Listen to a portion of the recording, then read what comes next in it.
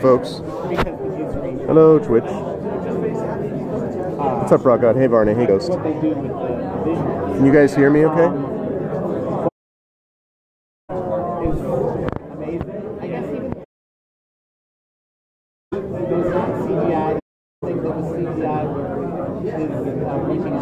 I look tired? Well, maybe a little bit. Okay, you can't hear me. What's up, Lone Wolf? No, I'm not. I'm not that tired. Um, but I did drive down here first and then run around stuff. And I'm I'll show you guys the reverse angle. This is the Farpoint Book Fair. You guys remember that? So there's one side. And you, Varney. We'll be back shortly after that, like just under two. Um, but longer if he has to wear the. Uh, That is, yeah. and I'll feel the uh, He's just. He's, Thanks. that's Hey, Mrs. Tunstall. Which I guess is really. creative liberties. Um, that's why there are a bunch of people who think he's going to be the captain. You know, when they come back, I'll bet you not. You have to be in almost every scene, and I don't. So I'll take you guys around to introduce you to some of the authors here in a minute. Um, sort of seeing how many people we've got going by. We've had a few people, I don't know. but we have some of the usual suspects. Met anybody fun? Sure. Um, some people that I already knew. Uh, Aaron Rosenberg, you guys already know. David Mack, I uh, talked to. I interviewed a couple times. I interviewed him on Speculate, and I actually told you guys about this last time. So, looking sharp. I should wear this for D and D Scream. Thank you, Lola. like the other ones better. You guys like the tie? Usually they gotta catch my I guess attention. we'll see. Oh, this is my. Uh, I'm not talking to my phone for no reason. It's my Twitch stream. So this is my Twitch channel, and I'm broadcasting live this book fair. So that's why I'm randomly talking to a phone. So I just realized I'm sitting next to some poor authors, and they're kind of like, "What?" Like I'm like, I just talk to my phone and ignore real people. So I didn't even know until uh, he was on Star Trek that he was. Oh, you are awesome. You Oh, are- wow. I love it. The tutu makes it. The tutu makes it. That Oh, oh, is fantastic. What goes on here, love? I'm just crazy. Don't worry about it. It's real. You guys have to see this. I love it. I personally don't think you into this either. It's a Borg with a tutu. You right, Nate? It's a Borg with a tutu, you guys. You'll be assimilated and pirouetted. Right? Is pretty awesome. 16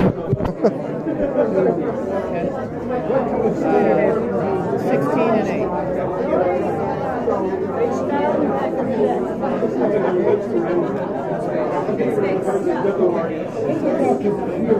It's the best kind of Borg.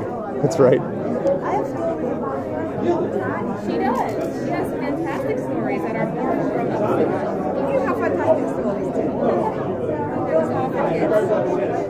You know, Yeah, I've got um, to to my left. Uh, we have a couple of authors, Star Trek, and then one person who I'll talk to in a minute. It's actually a really interesting book. Um, and then to my right, I have someone who's just got like tons and tons of uh, books, and then others over there. So I've got a lot of them. There are not a lot of cosplayers. There are some cosplayers. Um, uh, there was actually a panel today um, that I watched uh, that had on it a cosplayer. Um, and they have a panel tomorrow that's like cosplay as a coping strategy, which is interesting. I have to buy the Imperial version of the TIE. No, this has TIE fighters on it, Barney. See? It's got X Wings and it's got TIE fighters. So. I got both, Barney. oh. Yeah. Lord of the Rings.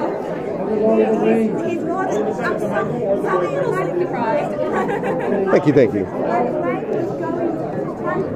Yeah, I drove. It's uh, I like it, but I drove down in it, um, so I could just go because I was moderating the first panel, and so I got here when I moderated, stayed for another panel, went back, got some food, then came down for this, and so I've been wearing this like all the way, like through the car and everything else. I'm just kind of like, you can't outgeek me. What's up, Rogan? We've also got some stormtroopers down there.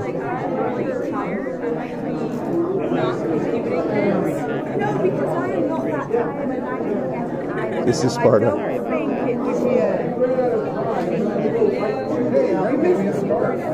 All right, should I take you? Should I take you guys around to uh, meet some of the authors?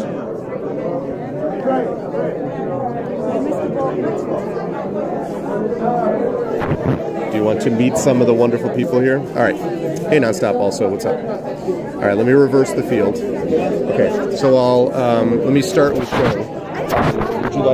Were you willing to talk to me a little bit about your book on the channel? Um, Okay. Um, this so I, my channel is based on story and narrative, and they're used to this. So it's all this. This is so. All right. So um, this is actually someone who I wanted to talk to. She happened to be next to me because we happen to be next to each other, table mates uh, here.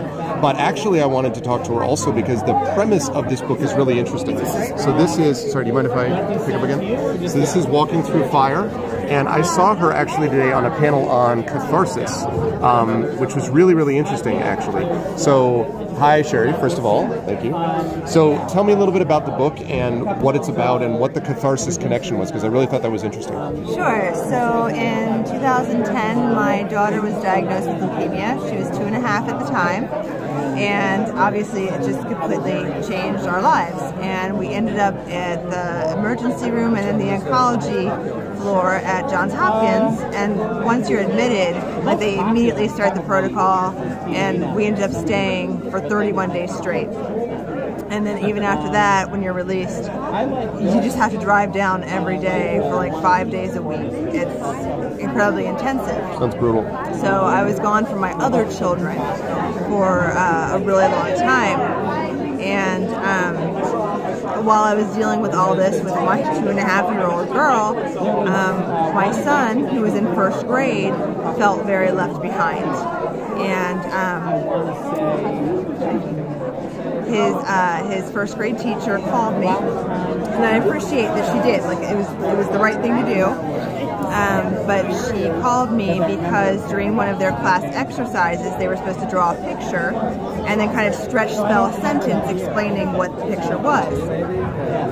And he had written, um, I wish I had leukemia so my mom would spend time with me. So brutal. Oh, So obviously that just destroyed me because I couldn't leave my daughter because of all the horrors that were happening obviously. With what she was going through. But what I did is um, I asked him if I could make a story about him and me. And so that eventually turned into Walking Through Fire, which is about a mother and her son with cancer. And uh, it takes place in Baltimore.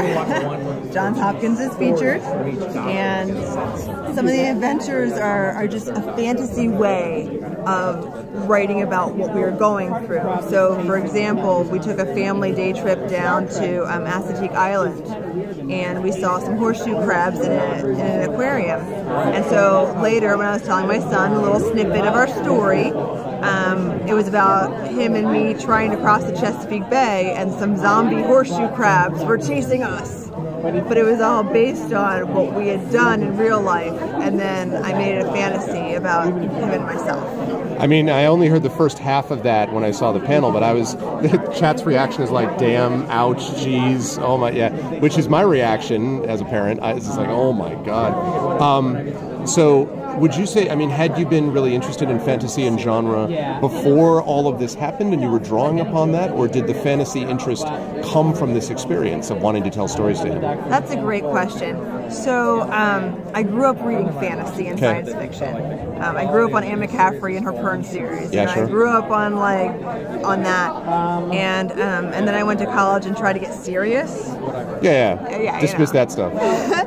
So I have a master's in English literature, and um, I taught at University of Maryland. And I tried to come in. I, I taught um, the world mythology class, the introduction to folklore.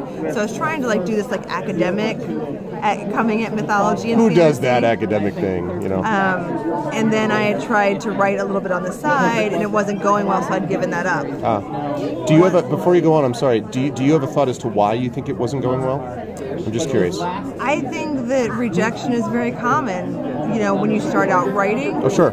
And I just, I wasn't able to kind of have a business mindset. Yeah. I took it too personally. Yeah, I asked because this obviously got you over the hump, and it was such a compelling story that I just wondered about that. Yeah, so. so I, it's pretty ironic, right? That, that I repeated myself and dumped all of my personal feelings. It's obviously I am very, you know, close to Rachel, who's the main character. Sure. I put my anxiety in there. Yeah, And you also I put all my fears in there, and I also put my hope because ultimately I believe that you just got to keep moving forward. You got to put one step in front of the other, you know, one foot in front of the other, and um, and that's what you got to do. yeah. That's. I mean, so like I said, it was just. Yeah, exactly. They're, they're all joking me about being an academic. Yes, I know. Um, but uh, yeah, I mean, but it really is a it was a super compelling story. So I guess my question is, um, we talked off air about other possible things you might want to do with sequels and so forth. Um, do you envision yourself going back to that same emotional core for these stories going forward? I mean, maybe with these characters you would, but do you always see yourself tapping into that, or do you think? I don't know. I'm curious about how you will do other stories when you move out of that really intensely close. Can you transfer some of the emotional intensity to other work? Do you think? I think that's a great question. Um, I don't know that I will ever write anything quite like this again. Sure. Because I wasn't writing for an audience. I wasn't writing character arcs. I wasn't writing, you know, to a formula. You know, by two thirds of the way through the novel, you know, have this and that. Really I writing was- for you and your I son, right? writing for myself and my Yeah. son. Um, and now that I've been through the publishing process, I feel like you know now I'm going to have this other like mechanical, you know, elements in my head Yeah. to think about. Yeah. Um, But I also think that life is hard, and one of the things that as writers, as creatives, we tend to be more sensitive to what's going on, Yeah. And we do hold that within ourselves, Yeah. within our bodies. Yeah. And so, whatever the story we're telling, I feel like that's part of our gift and our curse, right? We feel things so intensely, Right. but that allows us to really inhabit our characters that we've created. Right. So, even if we haven't experienced the exact pain, it's similar to I didn't write my exact pain into there. Sure. I turned it into a fantasy. Sure. I think that we can take that pain we felt, and that allows us to be more empathetic, and allows us to really imagine deeply the, the pain of what our other characters will go through. Yeah, yeah, yeah, yeah. Which is, I mean, enormously important. Um, you know, I was thinking about the fact that I, I think I became a vastly better writer when my daughter was born, um, just because I tapped into this sort of emotional core that was there, but it was all I could write well, but you know, it's not really until you write well and truthfully, you know, emotionally truthfully, that you can kind of get to that next step Right. um, it's to like be able that, to do something. being vulnerable. When you became Yeah. a parent, you became You vulnerable. vulnerable, absolutely. Yeah, yeah, yeah. And you know, and and as you know very well, your world becomes associated with more than just you. And so, you know, um, that's a really cool story. I, I mean, I really, I just, I was one of those things where everybody in the room was kind of like, oh, like when they heard the story. So it's got a real intensity to it. So, all right, so let people know where would they find this and where would they find more about you, website wise and otherwise. So, Taste of Sherri, S H E R R I Okay. dot com. Uh, my books are at local booksellers as well as Amazon, Barnes and Noble, all the places books are sold. But if you can, support your local. Yes, yes, absolutely do that as well. Um, shout out, oh, what's her Twitter account? At Sherri Woosley, W O O S L E Y. All right, see it at Sherri Woosley is the Twitter account. Um, and yeah, who am I talking to? I'm talking to Sherri Cook Woosley. I want to make sure I got the cook part. Um, and I met her. Uh, she was doing a panel today, and we happen to be table mates. Shadowed at this book fair at Farpoint. Um, and so that's the deal. Um, so yeah, well, thank you uh, for talking to us. And I will. I'm going to go around and touch a few others, and then I'll come back again. But um, thank you. It's a really interesting story, and I, I. It sounds like it's an important story too, not just another story. So I'm glad that it's out there. So Thank you very much. All right, guys. Yeah, there it is. Is that right? I think so. Sure. Okay, that sounds good. Thank you, Shadow. Okay, thank you very much. I'm going to go talk to a few other folks too. This is very much uh, look forward, I look forward to it. If you like it, Okay. Yeah, I think it's a real. Sorry, I'm going to move by a few more times. No, you're fine. Sorry, sorry. I'm sorry that I am No, not at all. large. All right, let's see. So let me walk you down the list and see what we've got. So I've got a bunch of. I thought that story was just really, really interesting. Um, all right, and then we've got this guy. Clearly not an author in any way whatsoever, Clearly not like it. That's right. and not at all Aaron Rosenberg. not at all. Aaron Rosenberg. yes, ignore the name tag and all the books with my names on them. That's right. Not me. Which actually does that. Oh, I know. I know all of it. Chad should know about that as well. And also Bob Greenberger. Hi, Barb. My name's Greg Wilson, by the way. We've talked on the phone, uh, but not face to face, I don't think, before. But um, so I'm just talking with my Twitch folks. Aaron knows the drill on this. So um, can we talk just briefly a little bit about? Is this with Crazy Eight also at all this being done? So all of this is Crazy Eight. Yes. Oh, and and Glenn Hauman as well. So all of these people. And of course, Hello, hello. David down there. Yes, oh, that's right. And, Peter, and I actually have a reading with Peter uh, tomorrow, um, so we'll be a part of that as well. Um, you see Queen of Blades behind him? Uh, that is correct. Yes, Queen of Blades. That is correct, Lone Wolf. Um, so Aaron is a uh, wonderful writer. He also does tie-in stuff, and he is also doing the Grey Shade uh, RPG. Um, and uh, yeah, now they're all squeeing at all of you. All right, so so that's good. That's good. We're all we're all squeeing. Um, do you want to highlight? Um, actually, if all three of you, would you mind highlighting something in particular that you would like to focus on that this writing community might be interested in, perhaps? A Cup of water is really Huge. Well, I mean, I'm I'm most excited right now about uh, Crossbones, which is the third book in my. It's really awesome cover, by the way. Thank you. This one just came out like last week, so that's why I'm excited about it. It's a brand new book. It's anime-esque epic fantasy. Um, Yeah, that's book really one, cool. Book two, book three. I remember seeing book one. Right. Yeah, I think you had book one here last year, right? I think Um, no, I think I just missed it here. Maybe it was I had it in Origins. Origins. Okay, okay. Yeah. Because I knew I recognized that Yeah. one. Yeah, this one just came out. Uh, fourth book will be out. you already got one that said sold. Anime-esque epic fantasy sold. well, I mean, tell. I mean, so so to give, give the anime-esque pitch. Okay, so the premise of this is um, uh, I have to remember my pitch. Uh, Crouching Tiger, Hidden Dragon um, meets Game of Thrones. Crouching Tiger, Hidden Dragon meets Game of Thrones. Okay. The basic premise is that um, the only magic remaining is ancestor worship in the form of ritualized cannibalism. People literally consume the bones of their ancestors in order to absorb their um, skills, talents, and memories. Okay. And as a result, it is a stagnant empire into which several people enter and are trying to find their own way and make their fortune. And as a result, in the process, are uh, changing the empire for the better. Well, I'm getting a lot of woes and exclamation points, so that's a good sign. Um, that's pretty awesome. Yeah, I, I mean, I know, I know we had talked a little bit about it from that first book, Yes. but um, but I had not seen these other ones. No, wait, did you not work with Steve on the, on these two? Was this just Steve? Steve was the first one, and then Right, so the only reason, so Steve's name is still on these because so what happened was that Steve Savile and I came up with the initial concept together. that's sorry. I just said that's metal as bleep. Sorry. so your book is metal as bleep. Oh, all right. Well, so, so we came with the initial concept together, and Steve and I worked on a couple other projects together before. And the way that we typically work is that we spend like 72 hours flurrying emails, like thousands of emails back and forth to discuss the ideas. And then once we've figured out what we want to do, I collate everything, put it all together, and then I build it into an outline, we bounce that back and forth, and then I write the first draft.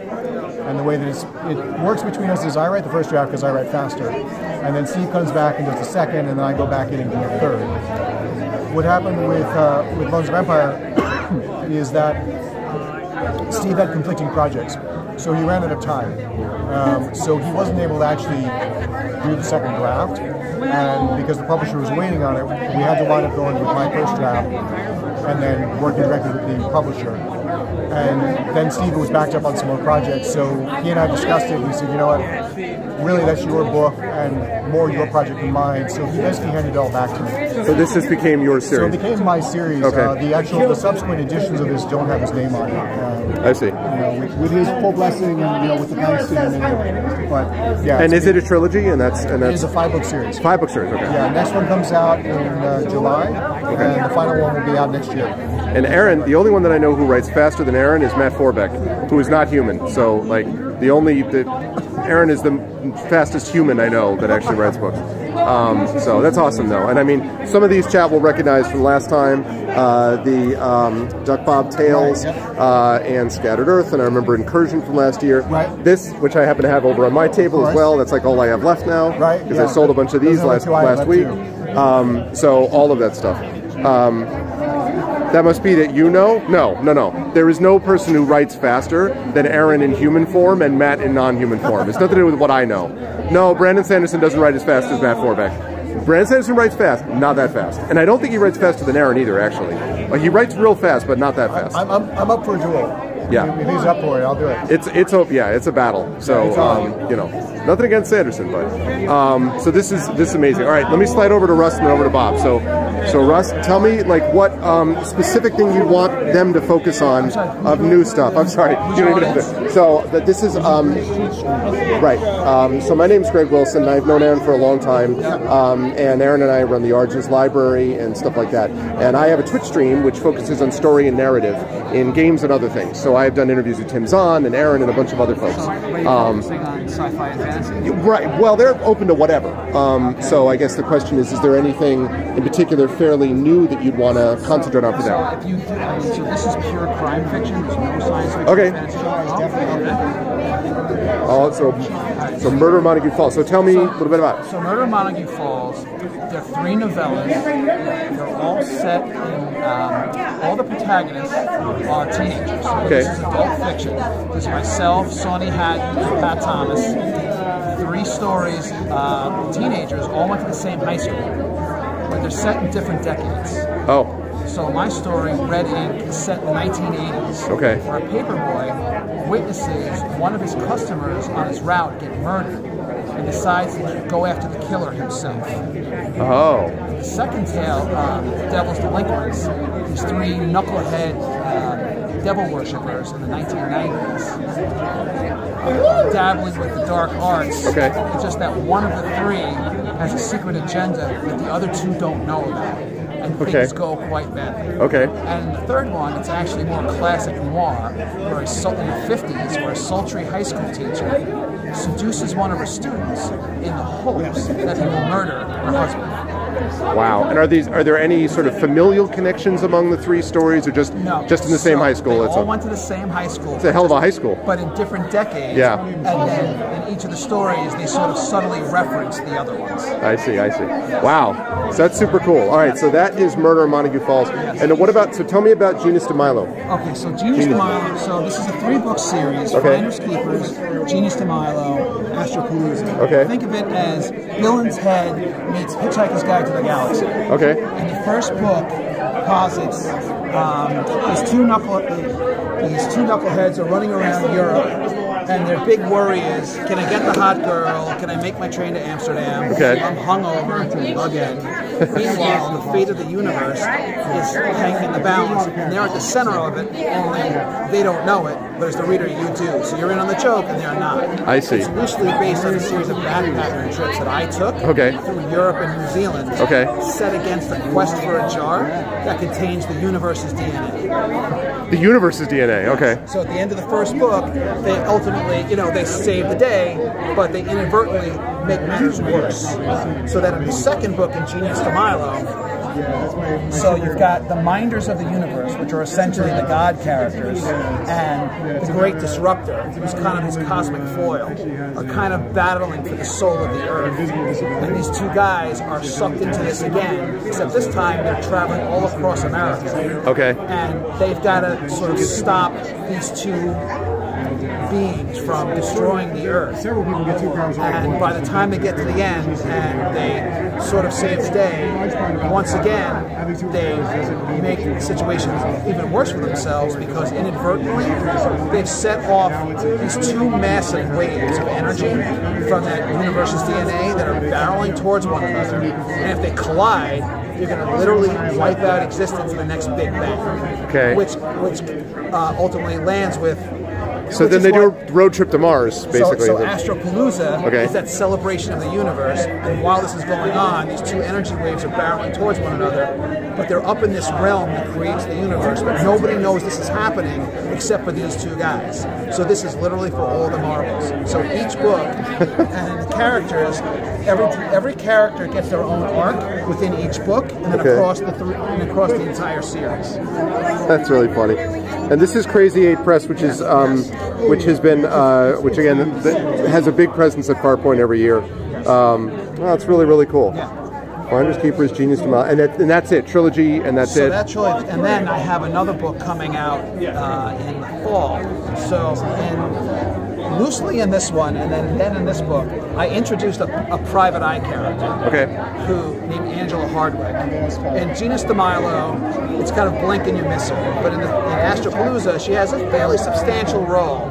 And I so love this character. I started writing short stories from her. Okay. First in uh, Love, Murder, Mayhem, and then in a few other of the Crazy Eight books. Okay. Now she's getting her first novel, which is coming out in the fall, and this is going to be an ongoing series. Wow. And right now, I'm planning to do at least six books, maybe ten. You really do love this character. Oh yeah, no, this is this is gonna this is gonna be who I'm gonna be with for a very long time. I actually was I woke up this morning at three o'clock in the morning, couldn't sleep, went down to the basement, and I was editing pages at 4 a.m. this morning before I came here because I'm working with the cover designer in about three weeks Okay. to work out the cover, and then it's gonna be uh, published in September. Wow, that's awesome. Yes. So that's super cool. All right, so if they obviously they're going to go to Crazy Eight Press. What is the website again for Crazy Eight? Is it um, CrazyEightPress.com? Just crazy8press.com? Yep. Um, is there a place where they can find out about you specifically? Sure, you can go to russcolchamiro.com. So actually, is it on here? Ah, here it is. There you go. There it is. Yeah. All right. So for both this and the YouTube video afterwards, they'll be able to see that. want to talk about this one? Sure. Tell me about So- that quickly, so- and then I'm going to go over yeah, to Bob too. So Crossline, this is this is pure space opera. So it posits a modern day space pilot Okay. is testing out warp thrusters. If they work, they're going to revolutionize space travel.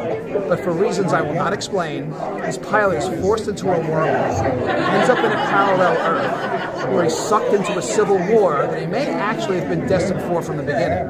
But back on our Earth in the early 1950s, a dead broke, uneducated gas attendant from Nowheresville, Texas, tumbleweeds and all, he stumbles into an oil well.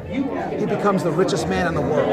Over several decades, he uses that wealth to finance a private space program, which ultimately launches that first pilot. And over the course of the novel, you learn how their two lives intersect. Ah, very cool. This reminds me of some combination of Farscape, First Contact, and uh, and something else which I can't remember now. Usually, I say if you like things like um, Escape from New York. Yeah, Firefly meets Farscape meets Hespergenesis. Yeah, a little bit. Yes, basically, yes. Yeah, yeah, yeah. That's very cool. Well, thank you, Russ. Uh, that that is good stuff to know, and I'm they're going to get a lot of Crazy Eight with the find it. But thank you, Russ, very much. Thank you. Thanks, Russ. All right, so going to slide over. I'll wait because uh, Bob is currently with someone else.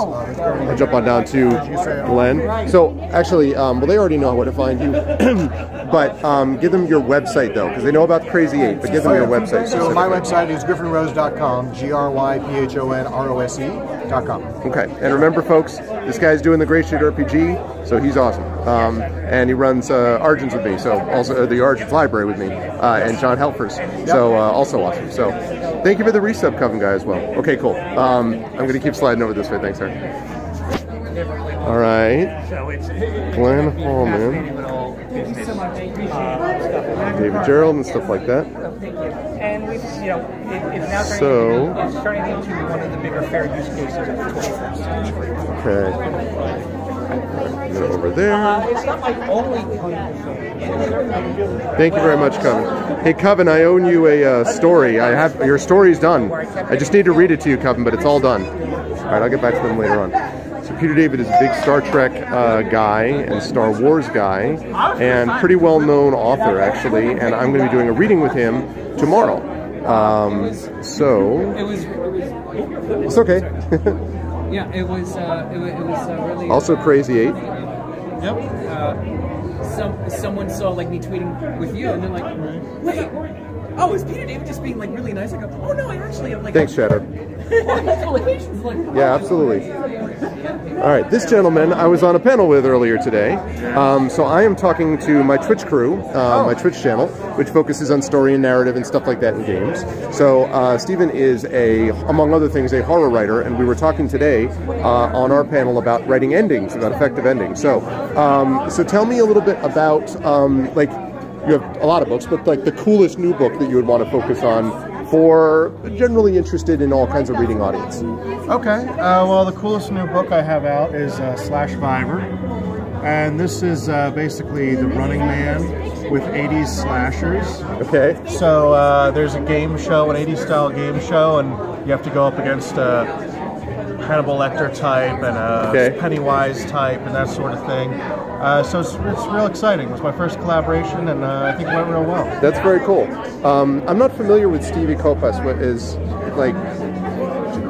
Where where should I know him from? Um, Uh, it's a her. Um, oh, sorry. She's also a horror writer. Um, she's done uh, uh, the Breadwinner trilogy. Is her big Okay, big okay. thing with uh, Bermuda Press. Yeah, yeah, But, yeah. uh, very cool. Yeah, read it while listening to John Carpenter. Yes. Yes. Yes, exactly right. Um, it's really cool. There's some cool covers on these too. Tell me about Hunter of the Dead. Yeah, Hunter of the Dead is my uh, vampire novel, and it actually takes place in present day Las Vegas. Okay. So that raises the question: Why do you see a medieval knight on the cover? Uh, which is the same question that the uh, vampire hunters are trying to answer. And this, the Hunter of the Dead, is kind of like the boogeyman for vampires. He's a knight that appears, and the vampires all get terrified. So everyone's trying to figure out why he showed back up in modern day Las Vegas. Wow. Okay. Yes. Why do we see a medieval knight? Well, now you know, Rogan. Um, figuring out. Although I guess if a medieval knight were going to appear in our world, for some reason it feels to me like he'd show up Yeah. in Vegas. Yeah. Like feels like all all the places to show Worst up. case scenario, it stays there. Yeah. so um, we talked a little bit about this. Horror would be your preferred subgenre, so to speak. Yes. Other thing, are there other genres that you like though when you're not in horror, um, writing horror specifically? Uh, I love sci-fi, and uh, my I mentioned earlier, shameless plug. I was nominated for the Splatterpunk Awards, the Extreme Horror Awards, for a book called The Hematophages, and that was actually a sci-fi horror mashup Okay. along the lines of Event Horizon. Yeah, yeah, yeah, okay. Or uh, maybe uh, Aliens, or, or maybe the original Aliens. Okay, okay. Um, wow. So then the sci-fi horror connection is Yeah. something that you've explored before, basically, in these it's, things. It's I really love doing it um, because I feel like there's not a ton there, which you would think there was. Mm-hmm. But really, the blending of space opera and horror is kind of limited to Warhammer 40k. Uh, there's a little bit there, Yeah. but uh, And I was, I was thinking, I was like, well, you know, maybe Prometheus, and I'm like, well, that's Alien again. Yeah. but that's all back in the same there's, there's a few thing. movies, not a Yeah. ton of books. Yeah, yeah, yeah. That's interesting. Um, so now, yeah, Event Horizon. Yeah, I get. I'm getting big all caps Event Horizon uh, for stuff like this. Well, this is cool stuff. All right. So if they uh, website basically would be uh, which one's the best one? I mean, the Amazon.com one Uh, or the Amazon.com one. If you can spell my name right, you can find me. Uh, yeah, you won't have a problem with like running into other people. Like my name's Yeah. Gregory Wilson. I'm like Oh, yeah. I'm like a serial killer in like you know Michigan and a magician in Florida and like Yeah. so It's, you do uh, not have that problem. Dad, yeah. Um, very very cool. Neat. Do you have anything like new that is coming up soon that you're at liberty to talk about? And uh, actually, if, if you're moving on to talk to uh, Sherilyn in a few minutes, I was uh, going to talk to her about this. But my next book coming from Grindhouse Press is called The Perfectly Fine House, and we're describing it as a reverse haunted house story. Okay. Because it takes place in a world where ghosts are very commonplace and accepted. So when they find a house that isn't haunted, it's a very strange mystery that they have That's pretty funny. Just a normal house. I love it. That's awesome. Yeah, thank you, Shaded, for the link. They just linked up your page so people could see it on there too. Oh, thanks. Cool. Well, thank you, Steve. I enjoyed the panel today, and um, hopefully we'll have a chance to. I'll see you, I imagine, around over the weekend, Yeah. and I'm gonna talk to some other folks too. Great. So, Thanks, everybody. Thank you. A reverse Ghostbuster. Yes, yes, indeed. Um, all right. Well, he set me up to send me in your direction. So, so all right. So tell me a little bit because I'm not familiar um, as much with your work. So tell me a little bit about what this book is that's being premiered here. I actually have a couple books here. This is my first fiction book. Okay. Uh, usually I write nonfiction books. We were talking about Ghostbusters. I am a Ghostbuster in the sense that I do paranormal investigations. So I write a book about haunted theaters in North and South Carolina. Very cool. But the other thing that I do is I am a puppeteer, and so I write a book about puppetry arts. Ah, very, very And neat. That's a book that just came out. I am a huge fan of puppetry arts Oh, from uh, from Routledge also. Yeah, someone is singing "Before He Cheats" by Carrie Underwood. Yeah, I'm sorry, Coven. It's I don't know what to tell you. Also, hey, I'm from South Carolina. Oh, well, very very cool. Um, this is, uh, as I mentioned, my Twitch channel has a bunch of people from all over. Um, so, so you study puppetry or are indeed yourself a puppeteer? I am indeed a puppeteer. I actually used to work for the Muppets. Really? I worked with Jim Henson Productions on Dinosaurs and Muppet Christmas Carol. Oh, okay, that's that's awesome.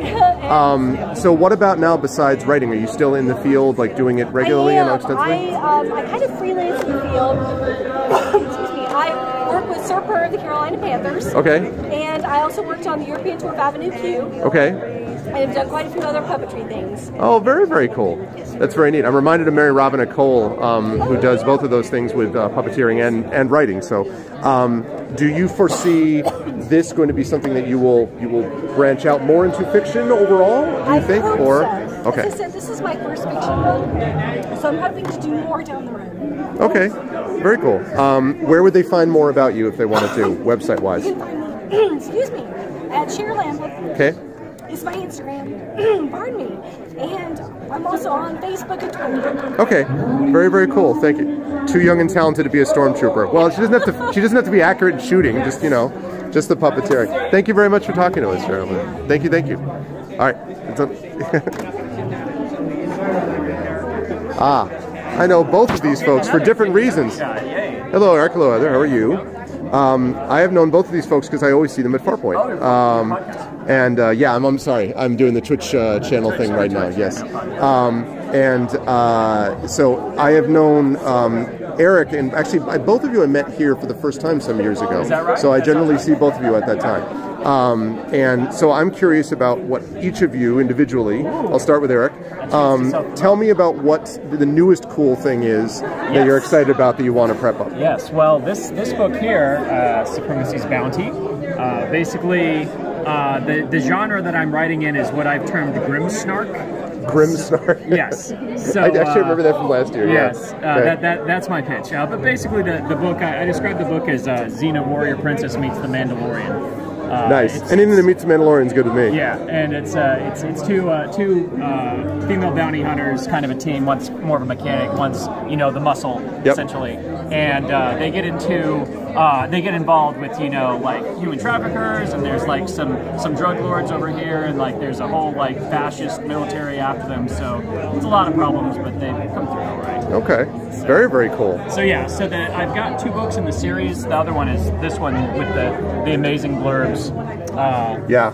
Which uh, which are which are great. But uh, basically, each book kind of stands alone. I like the approach that the Marvel universe took, where you have a shared universe and characters in that universe, but each book is a complete story. It's not like you have to read one to read another. Right. Like you could see Iron Man and see Thor separately, and it's the same universe, but two completely different. Right, right, right, right. So I'm Um, taking that approach with them right now, and I'm pretty excited about it. I'm getting uh, some questions about comparisons to Myke Cole. I mean, probably, Oh, right? love- like I would love assume. Myke. Yeah, I would Myke's assume. Stuff is so good. Yeah. yeah, yeah. I really like his his military fantasy that he does uh, with his uh, with like control point starting out. Um, yeah, I would say my stuff is, is definitely more. It's it's more on the Star Wars Marvel side where. Uh, There's a lot more jokes for one thing. My, yeah, you know, well, like- definitely. Like I, I try to keep the actually, the the uh, Supremacy Shadow is available in audio now, and uh, Oh, cool. uh, author or the, the, the narrator here, uh, Mark Delgado, who's actually here at uh.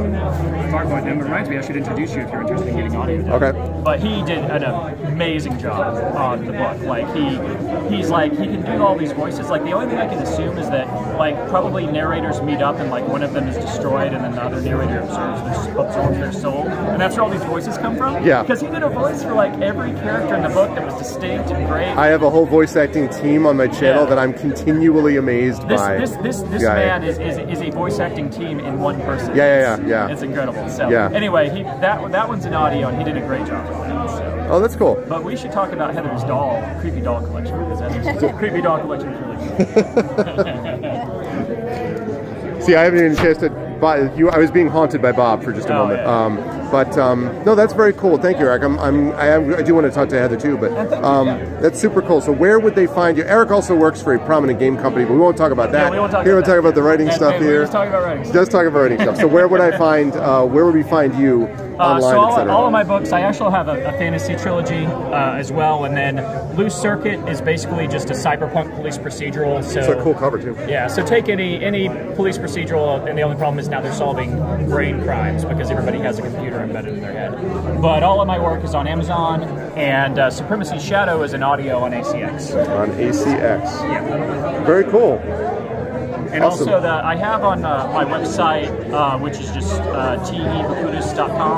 Uh, it's kind of spelled basically like that with the T on front. Uh, I have the first chapters and pre pre samples of all my books, so you can check them out and see. Okay, Uh, and I actually have an er, one version of this in not trade paperback, but just like regular mass market. Yeah. Uh, that you and I exchanged signed copies that's of. right, that was you know, some met. years ago. So I still have that. So very cool. It'd be a collector's item one day. That's true. That's true. That's why I'm keeping it in prominent place. Thank you very much, Eric. I Thank you, appreciate it. Um, so Heather, and again, same deal. But tell me about the premiering book because you have something new out this year. Yep, so this one just came out last Thursday. It's the second vol- volume of the doll collection.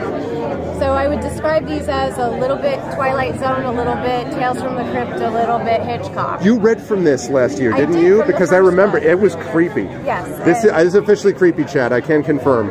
And these actually get even darker. I don't know what happened, but someone turned off the lights.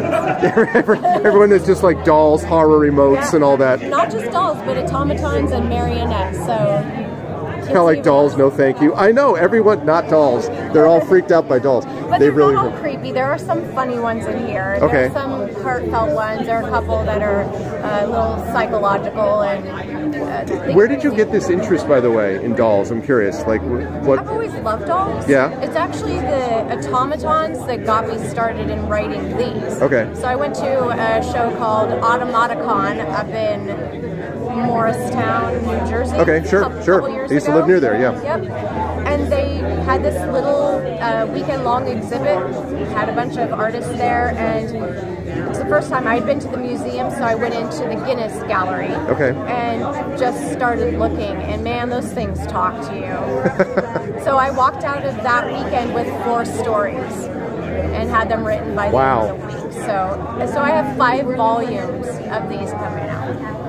Uh, It's a lot of fun. I was gonna say, um, that's cool stuff. Ventriloquist dolls scare you the most? Do you have any ventriloquist dolls in here? In the third one, there is a ventriloquist dummy, and typically you see them as the ones who are, you know, the devil whispering into the, the ventriloquist ear saying, you know, off this guy.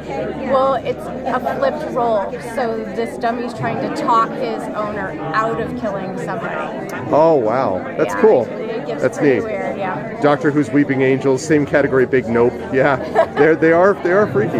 Um, all right, so if they wanted to find more, obviously you have many books I know, um, but if they wanted to find more about either this or you, where would they go? You can go to my website, which is heatherehutzel.com. Okay. Um, the books are all listed on there. You can purchase them by contacting me, just email me. Okay. Um, or you can go to the printer, which is lulu.com. Okay. And they're all there also. Very cool. Very cool. Thank you, Heather. Thank you very much. All right, bye guys. Cool.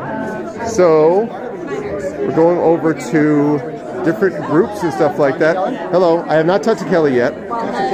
Hello, Kelly. Hi. So uh, Aaron says you're awesome, so I'll take that as as a as a Aaron truth. knows all things. So this is my Twitch channel. I mean, I'm an author over there, but this is my Twitch channel that focuses on story and narrative. So I've been interviewing different people about what they're doing here. So tell me about the cool thing, the coolest new thing, let's say, that you've got up that you are promoting, talking about, etc.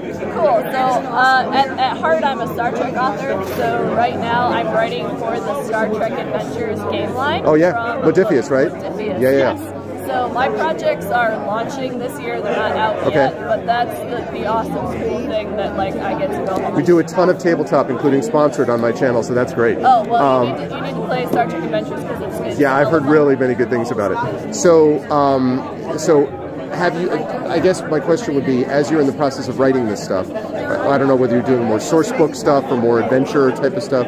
Um, what is it like trying to do that from a game point of view, but within a large context universe like Star Trek? So being a fan helps because you have like the background on the universe, but Right. there's multiple of us who are collaborating on like shared narratives, and and so we all kind of mine each other's ideas Mhm. and. And, and back history, and for me, it's awesome because I get to plug into you know a fandom and a universe that, that I really love. Yeah, yeah. Game writing is different than like you know fiction writing, Right. like my, my Star Trek Strange New Worlds book, because there's no um, you know there's you don't know where the characters are going to be in game writing. So whereas this, I got to write from the perspective of Beverly Crusher. So So it's incredible. Uh, do you imagine yourself staying with the game writing, moving back and forth? What do you figure? Ideally, I'd like to do both fiction and game writing. Um, I, I've done more fiction writing and, and critical essays and that sort of thing, but I'm really loving this game writing thing. So we'll see where goes. see how it goes. Where would they find more about you uh, if they're curious? At my website, kellyfitzpatrick.com. Author, teacher, geek. I can't identify with any of that. Chet. Just want you all to know. I don't know any connection to that at all. You know, they're all kind of like tied up together. We're all just we're all just like modified versions of each other. Like I'm a professor, an author, and a geek. Like Yep. same same same deal. Well, thank you very much. I appreciate it, and uh, I'll be looking for that because I am interested in second more of that particular Star Trek game world. So, so thank you, Kelly. Thank you so much. All right, so let's see who else we've got that is interesting. Ah, this gentleman.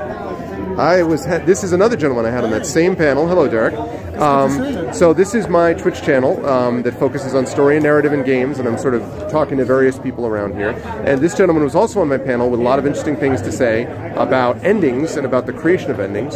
So, um, Derek, tell me a little bit about the coolest new thing that you're promoing here in terms of story or anything else you've got that you want to be talking Ah, about. The coolest new thing. Um, okay, well, thank you for having me. Um, the panel was fantastic, by the way. Oh well, you, you guys made it fantastic. So um, the coolest new thing is actually something that I actually do not have here. I have a story that's coming out uh, called uh, for a book called Badass Moms. Okay. It's, it's all about moms. We have a Kickstarter that is actually active right now to the Okay. end of the month. And I have a story um, in that. We're going to be done. And it's from Crazy Eight Press. okay. Oh, it's another Crazy Eight. It's another Crazy This is basically Press. just Crazy Eight Con, basically. Like Yeah, everybody is yeah, Crazy basically Eight. it's Crazy Eight Press. Good God. This is a um, uh, last year I did a story for Crazy Eight Press called The Third Law, which is like a parallel Earth story. Okay.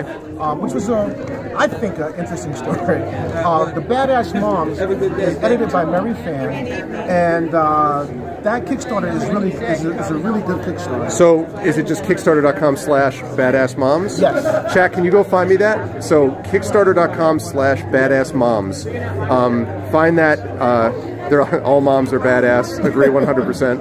Uh, this is true. I mean, that's that's a true statement. Um, so yeah, go find that chat so we can link it up. Okay. So in the meantime, I know also um, that you had stories in various places uh, Yes. as well that are especially on the Star Trek side of things. Yes. Although, so This is the first story I ever professionally I wrote. Um, this was, oh my gosh, 2005. Okay. Star Trek Strange New Worlds 8. Um, this is a story dealing with uh, the Borg, uh, Captain Picard, Ca- uh, Admiral Janeway. Um, this took first place um, for Star Trek Strange New Worlds anthology. I was uh, very proud and happy to have written this, and this is what started me as a professional writer. Nice. Star Trek Strange New Worlds 8. So is it is it that?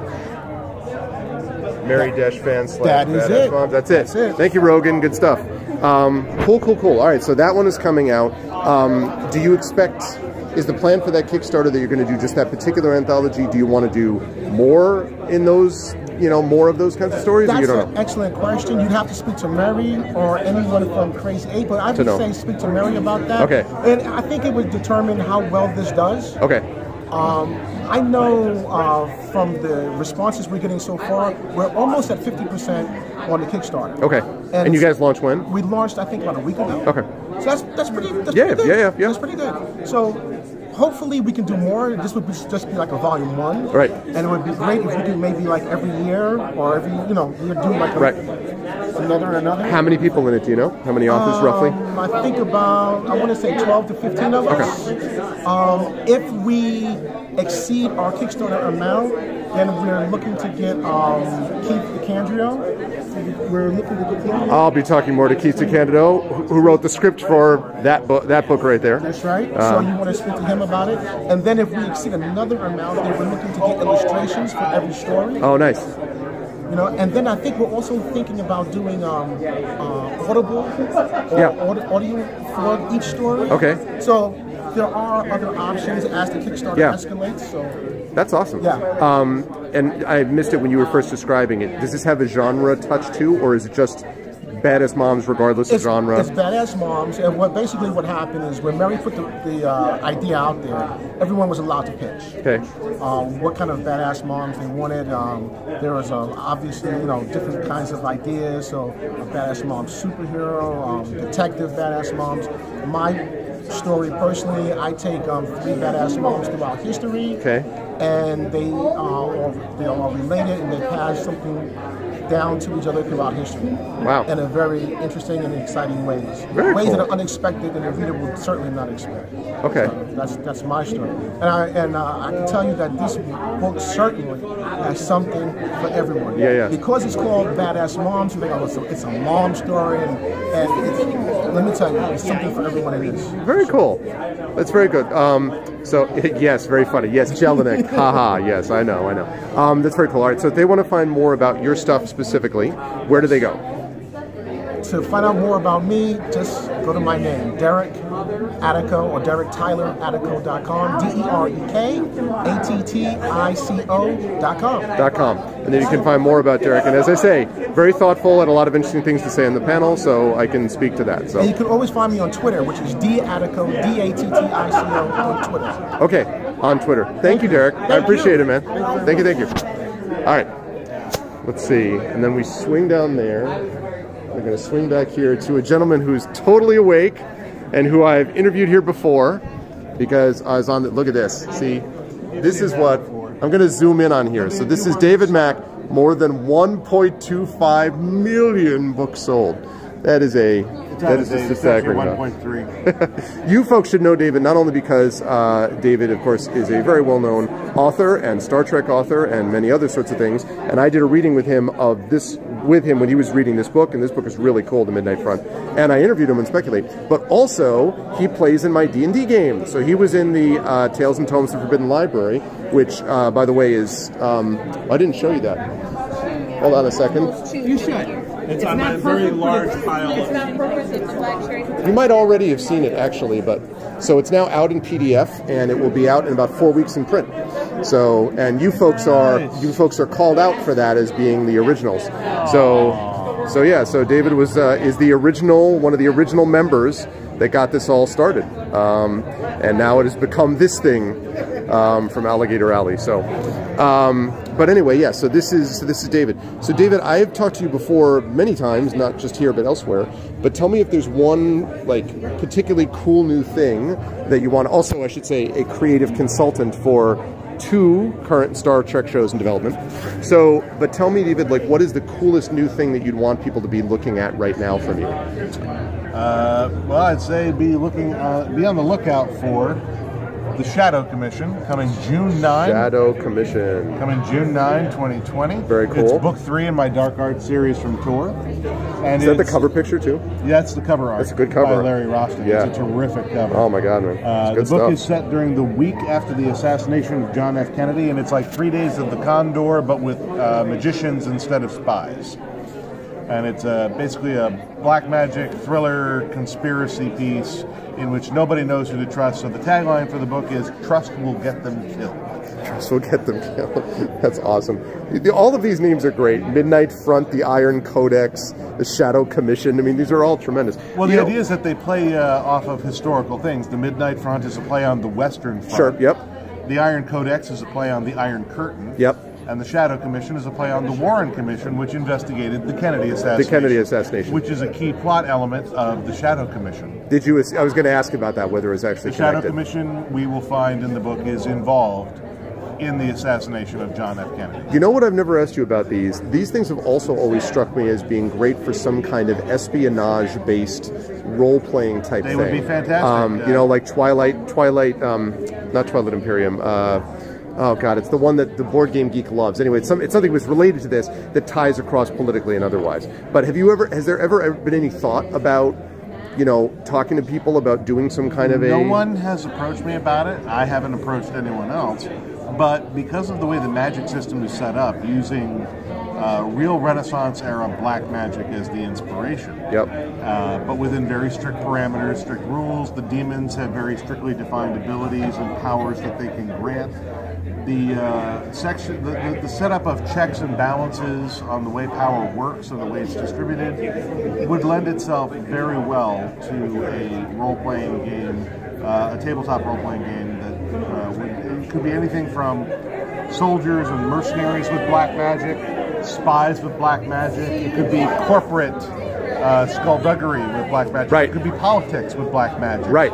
It would lend itself to a variety of forms. And in fact, the original impetus behind the title, uh, series title, Dark Arts, Dark Arts was supposed to apply to both magic as well as to politics, uh, advertising, disinformation, war, uh, and many other subjects. Many things were supposed to be subsumed under the umbrella heading of dark arts. Uh, so the, that was why every book in the series is a different kind of book. Book one is a war epic.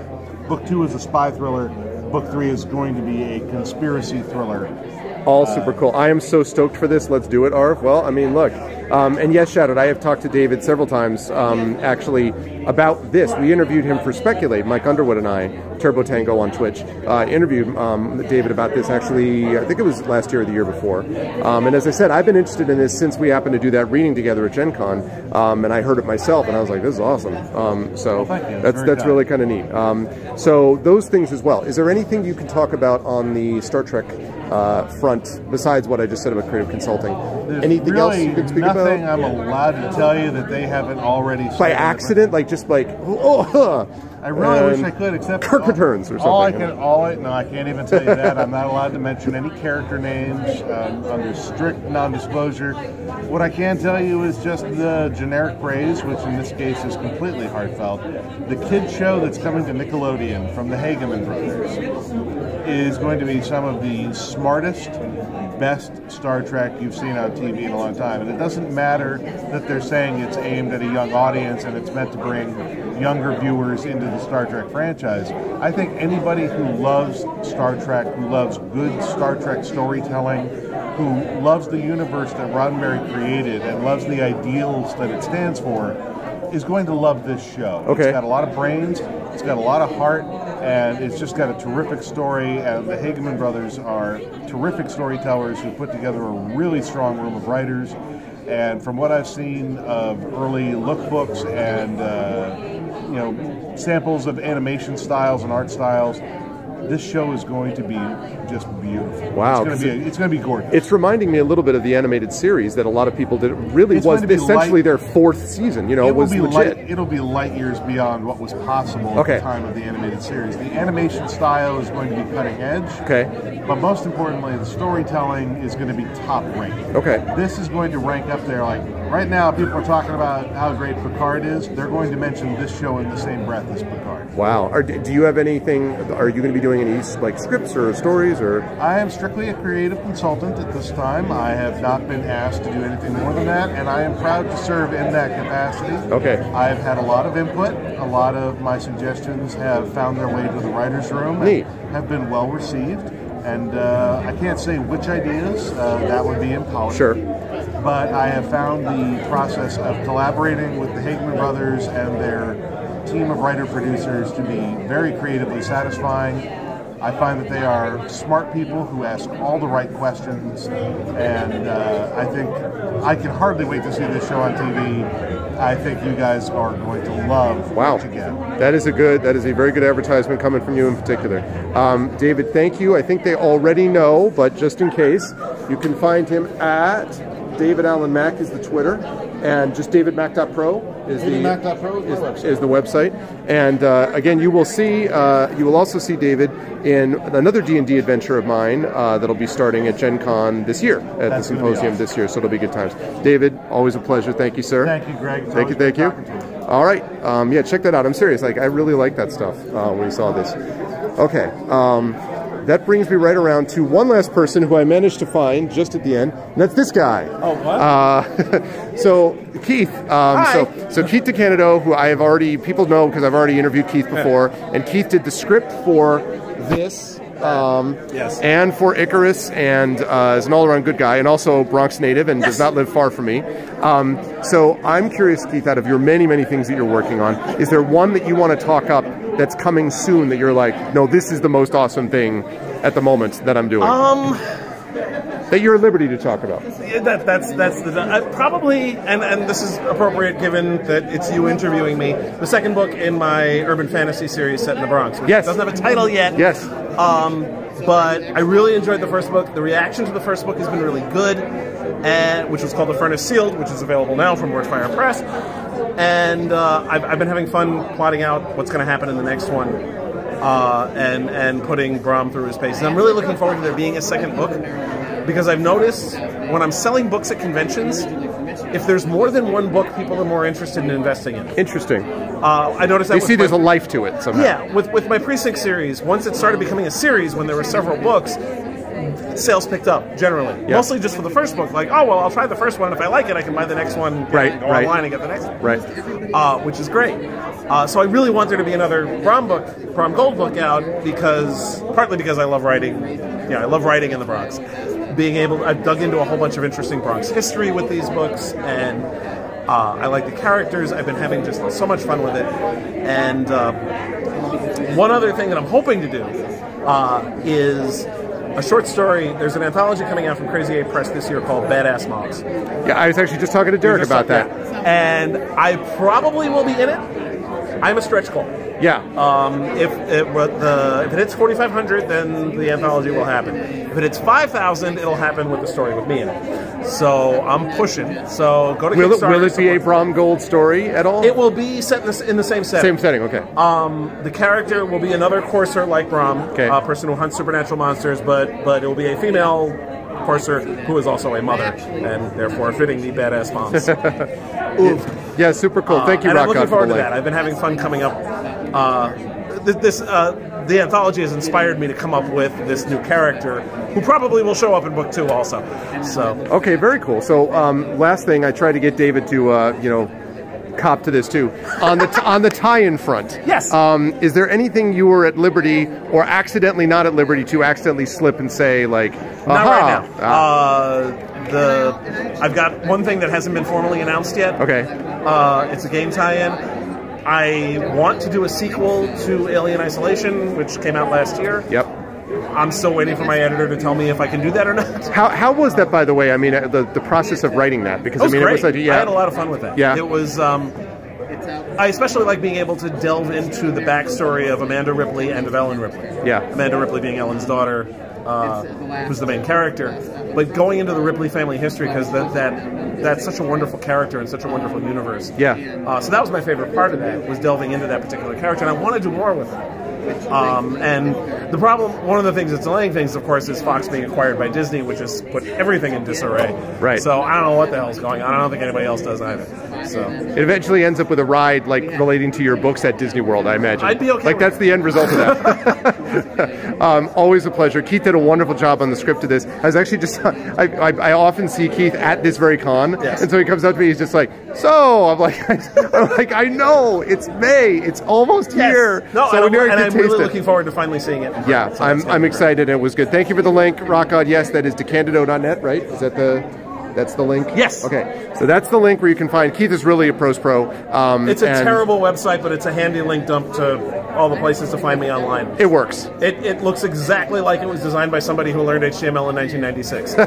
because I learned HTML in 1996. In 1996, yes. And it's not, but it's it's basically It's like truth in advertising, though, Yeah, right? Like I mean, it's got you know. It's got links to various and sundry things where you can find me, my blog, my Facebook page, my Twitter feed, my Instagram, all that stuff. Good stuff. Thank you very much, Keith. I appreciate it as always. All right, folks. Yeah, they are the best. That's right. Thanks, Keith. I appreciate it. All right. So there we go, Chet. And we come back around as I sneak past. I'm so sorry to bump into you. Hopefully not. And I sneak back around to the front. Oh. All right, there we go. I think I got one, two, three, four, five, six, seven, eight, nine, ten, eleven. I got a, nope, 11, 12. 12. I got a sampling of 12 authors. Um, so, oh, thank you. I appreciate you think I'm looking dapper. It's very nice of you, Colin. Um, so yeah, so that's that's a little taste of the book fair, um, and um, it, I think this has been a little busier than last year. It feels like um, I am in a different spot. Last year I was all the way down at the other end of you know whatever, um, but this year uh, a little bit more in the middle of things as I was wandering around, sort of talking to people about stuff. So um, so yeah, so that's that's what we've got, and this thing runs I think for another. 25 minutes, something like that. Um, and then we'll see. And Coven, depending on how this goes, um, when I leave, I'll see. I might, because I might, I'll be heading back to the, my hotel room, obviously. Um, and depending, I might actually, I could possibly read it to you um, tonight. But if you're already asleep by that point, then I'll just do it tomorrow, maybe after the um, session, after the D and D session. So, which will be in my room. early conversations that my wife I had. She was going away with uh, friends, and I can click image links, although I don't know what it's going to lead me to. Since I'm streaming from the phone, if I click on it, I'm worried that it's going to go, you know. I'm a little concerned about that. I'm actually going this weekend. Uh, I don't know for sure. I don't think you mentioned it. And she said, no, I mentioned these things to you. What's up, Dragon Spirit, by the way? Don't necessarily pay attention. Okay. The first time I Yeah, part of the problem that I have here, guys, is that the only book that I have left right now is this one. Like I sold, I sold books at Boscone, so I basically brought. I have CDs, and I have three of those anthologies left, and that's it. Um, because you know, Forbidden Library is not yet out in print. That's going to be here in four weeks. Icarus and Jelinek are coming out in May. Um, so that's still got to be done, probably late April, early May. Um, and then the Gray Shade Kickstarter isn't until next week. And then the anthology, I've got another story that's going to be coming out in an anthology from Origins, but that's not published until June. So I just don't have a lot of material right now um, to work with. So, you know. This is early, and oh, you've been married six months. Yes, exactly. I do not want to. The, the big red button on my stream would not be a good uh, not be a good thing. So. One of the things I really like about this program, though, is that the audio is pretty good comparatively. Like even with people talking around, you can basically hear, I think, what everyone's saying, um, which is partly because my One Plus Six is awesome, but it's also just because I think Streamlabs does a pretty decent job with it. And I don't. Has it been buffering or has it been okay? Because I'm. This is actually off of their Wi-Fi, so um, when I do the stream, you know, tomorrow I'll be doing it from my hotel room. I think it's a wired connection, but even if it's Wi-Fi, it's going to be in one place, so I won't be walking around. Yeah, I mean, so I'm, you know, I'm pretty happy with that. Um, I would say so. It's exactly right, Rock God. It's exactly right. It's one of the things that I was I was kind of frustrated about with, and it's not Alligator Alley's fault. I was just frustrated about the fact that we we weren't quite able to get um, Forbidden Library out because I would have loved to be selling that here. Because this is the the next con that I have is in May, early May at SUNY BroomCon, which is a, sm- which I've never been to, and then Three Rivers Comic Con. Now by Three Rivers Comic Con, I will have Icarus, Jelinek, and I'll have Forbidden Library Um, plus, you know, any leftover anthologies. I'll probably get a couple more author copies of my academic book, so I'll have more just more stock. But at the moment, I'm kind of blown through all of my stock because I'm in between things. So, you know. Okay, that's good. Yeah, I mean, it's not bad, you know. I write. Yeah, yeah, yeah. I mean, I'm I'm very happy with my OnePlus Six, and I'm not going to be upgrading from that for some time because I'm very happy with this one. Um, but yeah, uh, the OnePlus is a good phone, and you know, this is. I mean, I've streamed now for. I've been live for an hour and a half almost, um, and I used up like 30% of the battery. It's not bad. Um, so, you know, I, I, in general, I'm I have no complaints, uh, and it's good for doing exactly what I'm doing, like walking around, doing live sessions, uh, you know, doing the live broadcast of the the D and D, you know, at symposium, whatever. So it's good for that stuff. I believe it. They're, they're, they're, someday all of them will get into books, or I have to write a sitcom. Um, So yeah, and it looks like they're starting to wrap up here, if I'm not mistaken. So we will see if that's true, but it looks like it. So how's the foot traffic been? Just I've sold two, and one of them I had to sell for only ten dollars. So she didn't have the um, what is it? It normally is 15 or it's normally 12. I mean, like I buy them for like eight or eight fifty, so there's like not a lot of profit. Yeah, no, I know.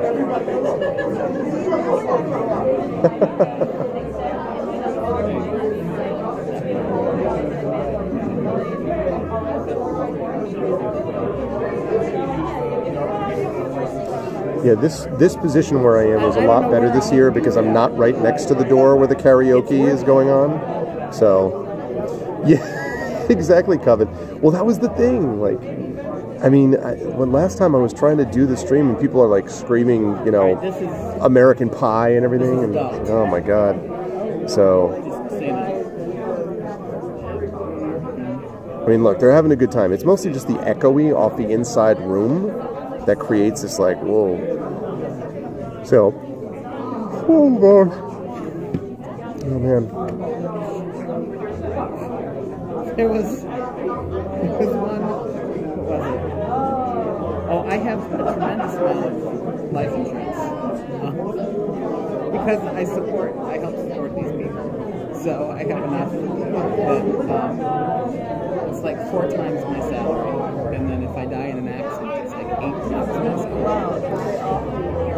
Yes, it, but they have to make it. Well, now I'm getting a little tired. Yeah, after a full day of driving, paneling, running around, uh, and then coming back here, now I'm a little tired. Yes.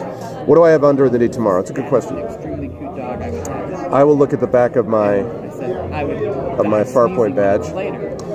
I have got uh, tomorrow. I have using social media effectively. I don't know anything about social media. All right, Twitch chat. I don't know anything about that. But uh, using it effectively. That's tomorrow at 10 a.m. And then I have an author reading with Peter David, who I showed you a link of before. I showed you before. hey, that's uh, Saturday at four. And then of course we have uh, D&D with IMB at seven. So there we go. Say again. Sorry. You're you having more fun than humans should be allowed over here? Absolutely, always. I watch actually. I've never used it the whole day. I mean, it tells me the time, that's it. So yeah, you had to bust out 15 tiles in the drywall to get to the plumbing. Man, your house, Coven. You've been through the re- you've been through the ringer on that house as of late. So not actually. Yeah.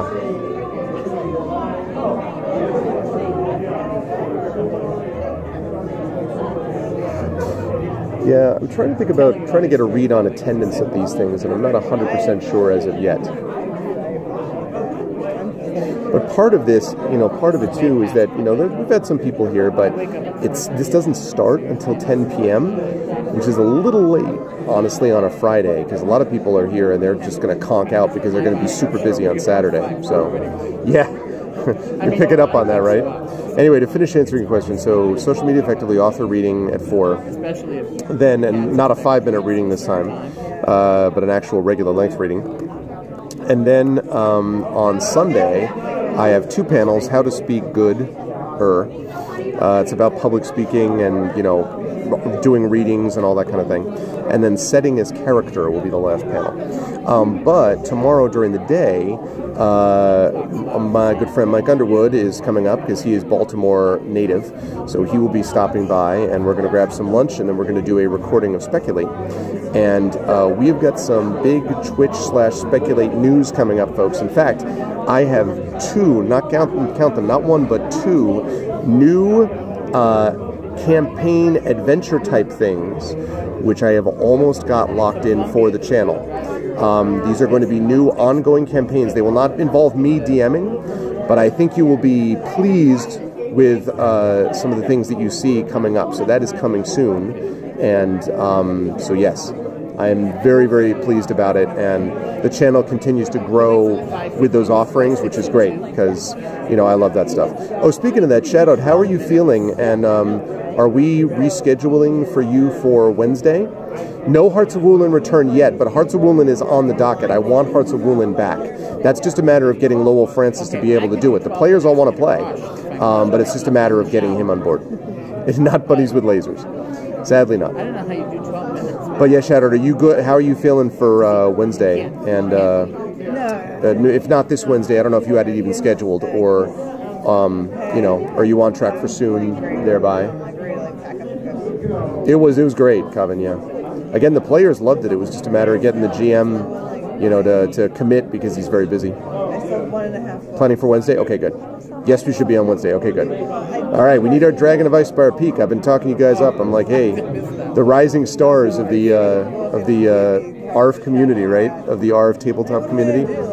So, but yeah, no, I'm really excited about it. I mean, if you think about all of the stuff that, that we've got going on in the channel, super happy with how IMB is going, super happy with Adventures in Middle Earth, super happy with Esper Genesis, um, super happy with D&D with GOG, um, and I'm really happy with Emberwind and Dragon of Icespire Peak, and as I say, another couple coming down the line too, coming down the pike. So, very excited about where we are tabletop-wise. I'm super excited about the game, video game side of things too, because my two PC setup, I got the, I fixed the clicking, so the clicking is fixed, and I'm super pumped. Um, so for that, because it's not clicking anymore, so I've got that fixed. So I feel good about it. We just need to make sure we, I just need to make sure we keep working on numbers and getting more and more people over here and involved. So yeah.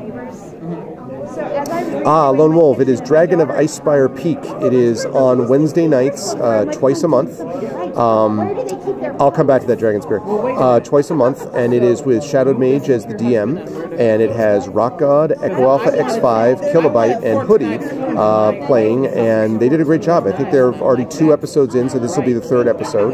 And um, yeah, I've had a chance to watch and lurk, and I love it. I'm, I'm really, you know, enjoying seeing some of the extra content. As far as what was clicking, um, I was getting this weird, like, you know, Dragon, when I when I stream with um, with the uh, with my capture card and I'm capturing like the Wii U or whatever, with this kind of like a type of thing um, going on, and I couldn't figure out what was doing. And I figured it out with Kilgore and I. It had something to do with down downscaling, so I fixed it so that that no longer is there. So now it's just smooth as silk, which means for my stuff like The Witcher, for you know Heroes of Might and Magic. Not that that's a big deal anyway, but for any of the sort of newer games that I'm playing, um, the uh, it's going to be it's going to be great. Like it's it's in good shape.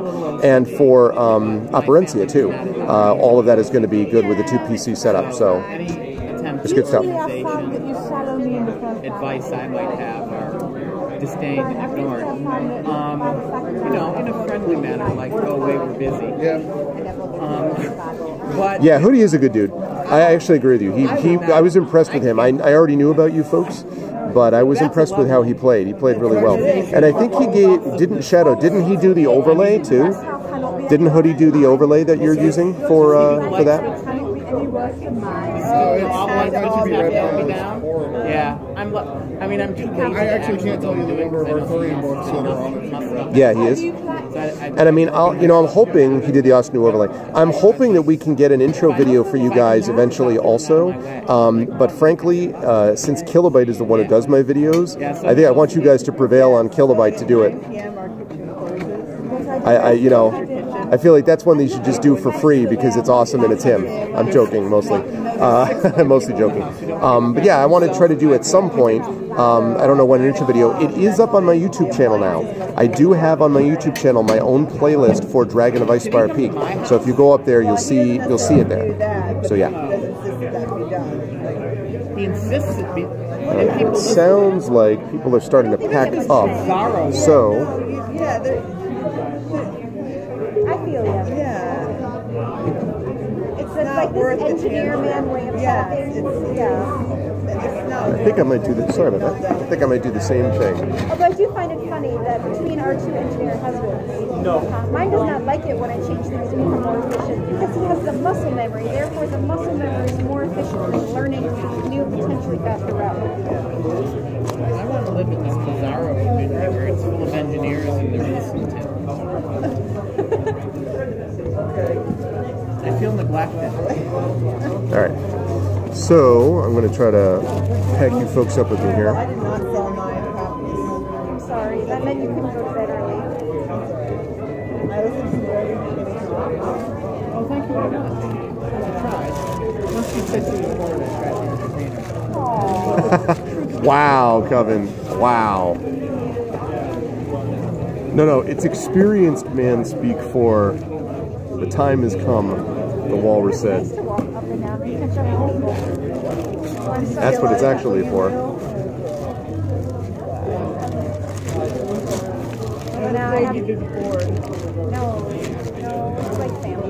Yeah. Yeah, it's true, Shadow, it's true.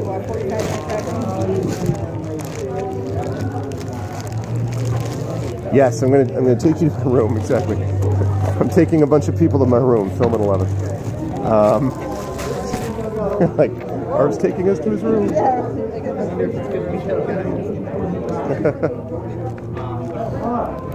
That sounds like a story. I probably done worse. Um, there should be Rock God. Uh, Kilobyte actually is the one to talk to about that. Um, because, yeah, absolutely. I, I think that would be a good idea uh, to include him for sure. Um, I will bring you folks with me, and Coven, um, I know, very promiscuous. Coven, if you are willing to stick around, Coven, for a few minutes as we walk back to my room, um, then I will read you the new story because uh, I'm. I hope you like it. I'm. I, I'm happy on it. I'm happy with it. And then the next one up is Echo. The next one after that is the short story uh, for the Origins anthology. And the next one after that is revising my middle grade manuscript, which I had an excellent conversation, several of them actually, with Carlos and um, Carlos Hernandez. And it, he had great things to say. I've also had other beta readers who have talked to me about it. So I'm excited about it. I want to get that revised by early June. So, yeah. All right, let me go grab my Jelinek thing. I love that. Just things just So come take that picture. Did you, picture just a lightning strike on a lone vacuum cleaner? Was like, I think an old Far Side cartoon. I like my robot back Yeah, the robot. I'm, afraid of those. Not just because the house is messy. I'm the other person who cares. But I'm afraid of, like, we have cats, and sometimes they'll, you know, throw up. And then does the, does the cat throws then go all over the house? I would be afraid of that. See, we don't have cats. When we have small toy out, then when they come in the robot vacuum start out, go into a pit that it's really easier toys, and then they must So all I really have to do to get my problem is suggest to them that something I'm gonna work. I'm gonna say it's a monster. And then gonna work on this Anyway, it was nice to meet you. I want you to come by and see it, so that you can confirm that it's legit and okay. And I'll buy it. either way. Uh oh. Sorry, let me. Uh...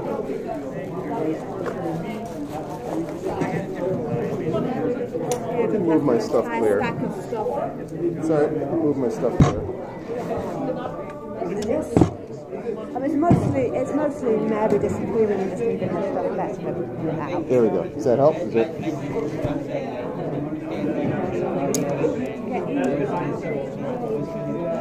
Yeah, we didn't have a lot of room to maneuver. Yeah. Okay. Yes, Echo is getting a story. Uh, sorry, a uh, character background. That's what I meant. That's what I mean, Rock God.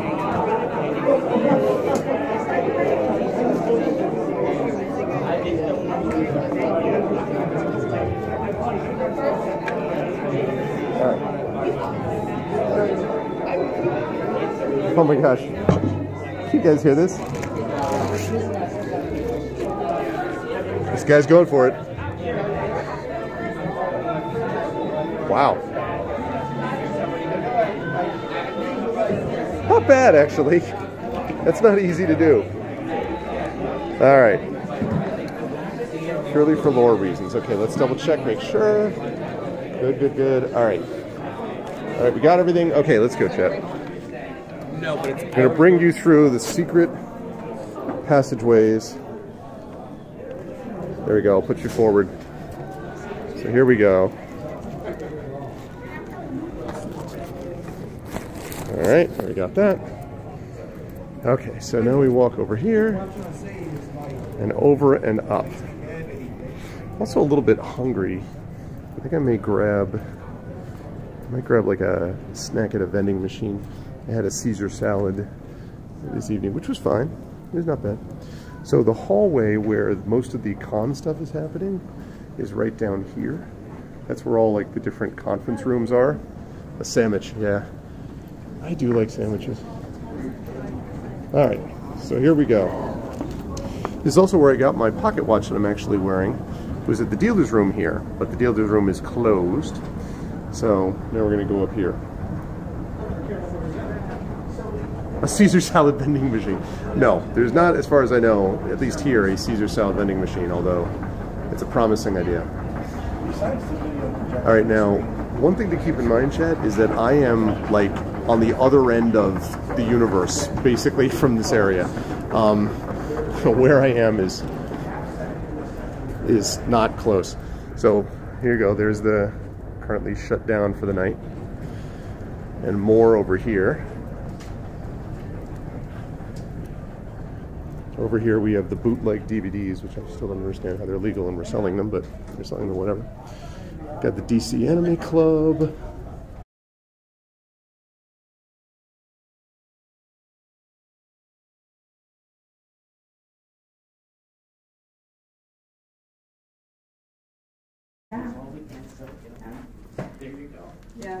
Yeah, we're, uh, Dan, Tara, um, Glenn, Neil, and maybe multiple people to, to, uh, the stuff on the road, is? On my back, yes. Gonna have a good meal yet? Got it. And it's like, that's something I wanted to do, All right. well, I have to move the book now. There you go. Sorry about that, folks. Yeah, I was messaging James a couple of weeks ago. I just, I'm waiting on the vending machine. Sorry we haven't been back lately. 2019 kicked our ass financially and we're still kind of picking up the pieces. Yeah. And James like, yeah, it's cool. Yeah, it's gonna a lot of people's asses different. I, I guess.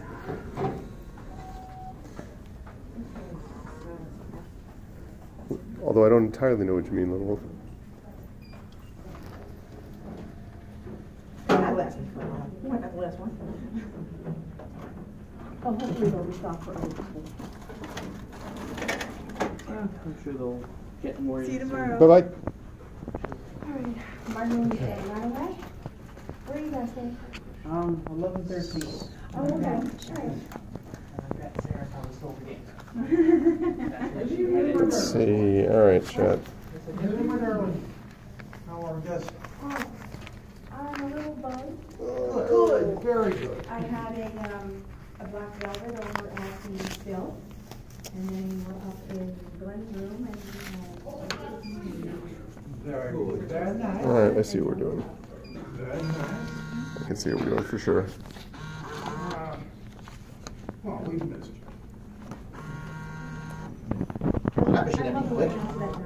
Oh. That was so much fun. There we go. Dessert of Champions, people. No, I'm talking to my Twitch channel. it's on a live stream.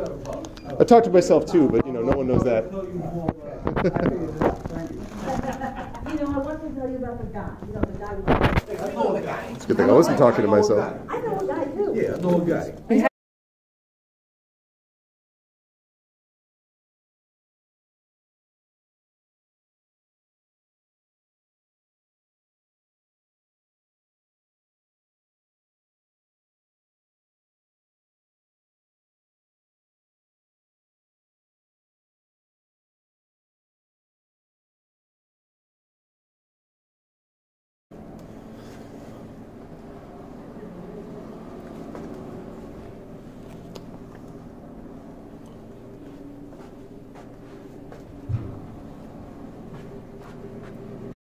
Talking to my Twitch chat, and he's like, "Oh, clearly having no idea whatsoever."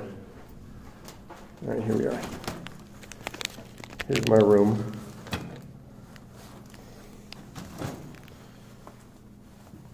All right, here's my room.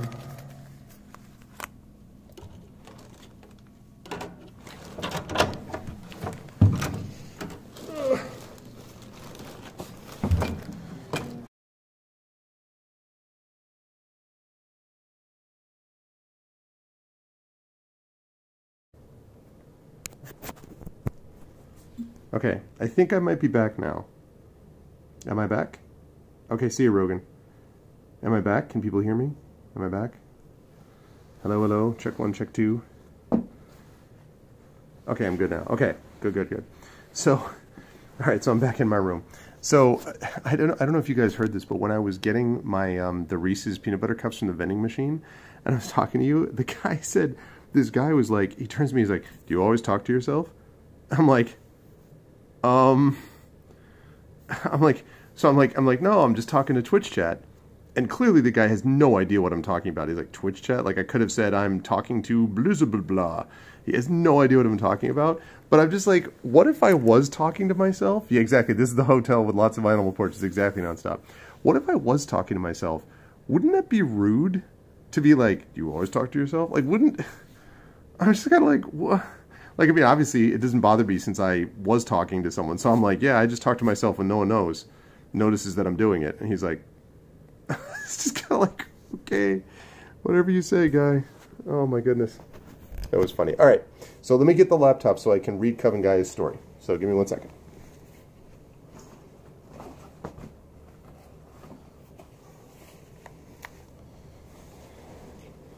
Yeah, they all started saying, I know a guy, it's true.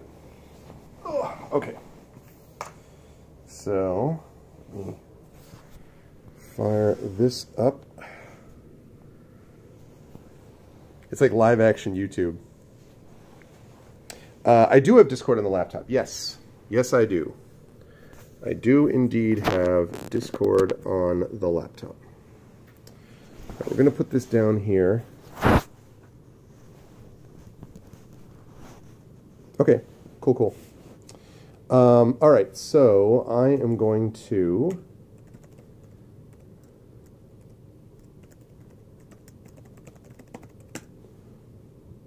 That's wrong. Oh no, it's right. I got it right. Yay. Okay. Oh, the home repair. Okay, cool, cool. All right, so now, can now guys, can you can everybody hear me as I'm sitting? I'm lying on my bed right now, looking at um, my laptop where I have the story. Can everyone hear me? Okay, even like as I'm talking like this. Yes. Okay. All right. So this is the story um, that I wrote uh, for uh, Coven Guy. This is Coven Guy's Patreon reward. I think I'm going to do.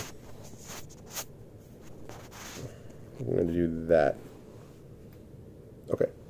So here we go. Um, so this is Coven Guy's reward um, that for the Patreon, and those of you who played um, with him who was playing with you in the D and D session, Coven?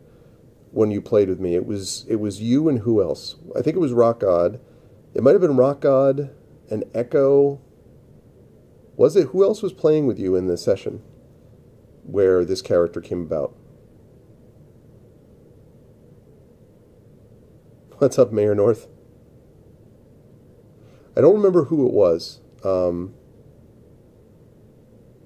anyway, it doesn't really matter. But if those of you who might remember, it was Shadowed and Wenchkin. Yeah, you were there. That's right. Shadowed was there. Wenchkin was there. Coven guy, and it might have been Echo. Yeah, with the hags and everything. Yes. Okay, so this character is Broccoli Oakenhammer, a dwarven druid, and uh, this character was noticeable for. You were there, Mayor North. Three Witches, that's right, Lone Wolf. And this character is notable um, because this character uh, actually was. Um, uh, this character like kept missing things, like basically, as he said, like flailing wildly. So the whole thing that we made about it was this idea that that he was basically a character that, you know, was into the druid thing and not so much into the fighting thing.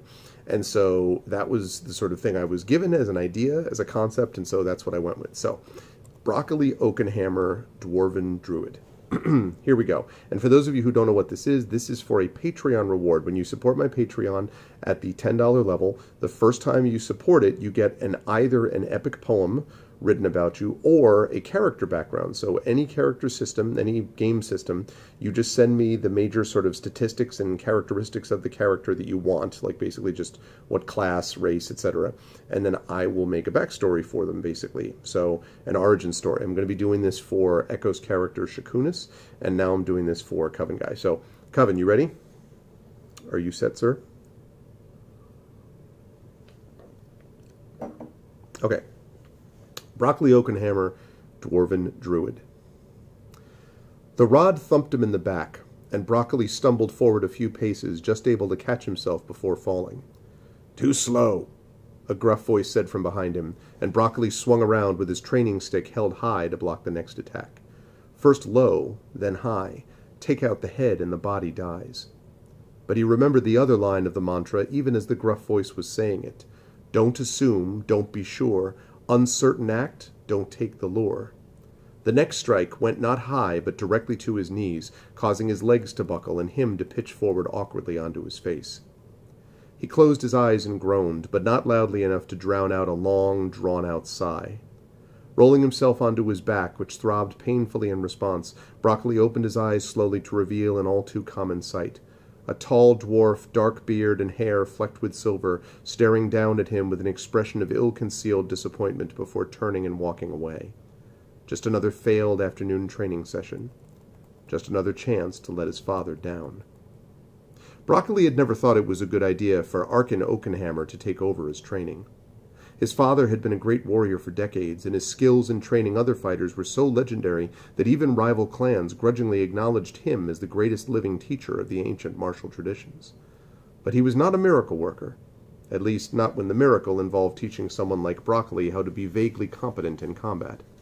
For although he was clearly his father's son in appearance, fairly tall, a thick black beard and eyebrows setting off hazel eyes, which in turn flanked a long, slightly crooked nose, when it came to proficiency with weapons, or even interest in using them, he might as well be related to a halfling cook as a dwarven warrior. At times, after another lecture or eye roll or disappointed sigh, Broccoli toyed with the possibility of asking Arkin whether his mother, who had passed away right after Broccoli was born, really was a halfling. It would have explained a lot. All except his height, his beard, his... No, he was definitely a dwarf through and through, just not a successful one. Broccoli stood, wincing slightly, and slowly made his way to the table at the side of the training ring where Arkin was gathering together the sticks and rods used for the session. He stood for several silent minutes, breathing in the mountain air as he watched his father bundle the symbols of his failure together, before venturing a quiet, I'm sorry, father. Arkin snorted. I'm sure. I am, Broccoli insisted, stung. I misremembered the mantra you taught me, and I should have read your attack instead of... Arkin waved impatiently, still focused on the sticks in front of him. None of it matters, Broccoli. Broccoli blinked. What do you mean? Exactly what I said. It doesn't matter whether you remembered the mantra or read my attack. But, but, but it's part of the training, and I. Yes, Arkin said, pulling the rope around the sticks a bit tighter than was probably necessary. It's part of the training, and you haven't gotten any closer to being able to do your training in months. Your forms are sloppy, your accuracy ridiculous, your responsiveness slow. I'm still learning. We're all learning, Broccoli. The question is whether you can learn before Mount Calyx itself falls. And frankly, given how long it took you even to pick up your weapons in the first place, Arkin went on, giving the rope around the bundle one last yank, I'd say that's pretty unlikely. That's not fair, Broccoli said, feeling his face growing hot.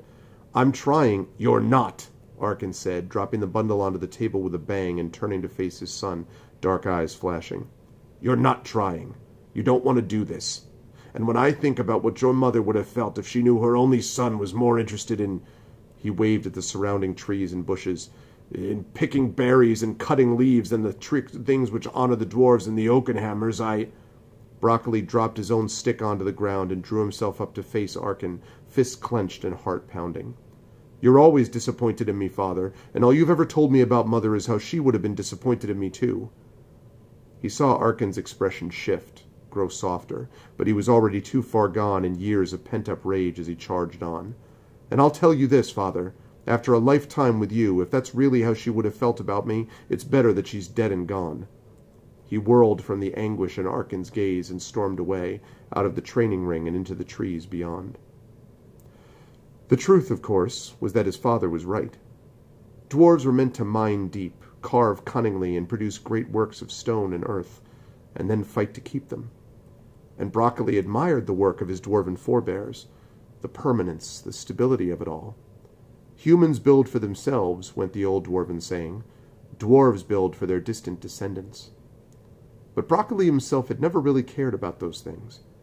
Since he was old enough for memory, he had loved the living world of trees and bush and grass, the forests and the towering wooden guardians which created them, root by root to hold the earth and leaf by leaf to reach for the sky. Here, among the scents of rich loam and damp moss, in the subtle green light of the leaf-filtered sunlight from somewhere far above, was where Broccoli felt truly at home. He could still remember the first time he had found a sprig of pineberry, almost never seen this far north the excitement he felt as he planted it near the outskirts of this very forest, the joy he felt coming back year after year to see it find purchase in the soil and grow fast and strong, a new protector at the mountain's edge.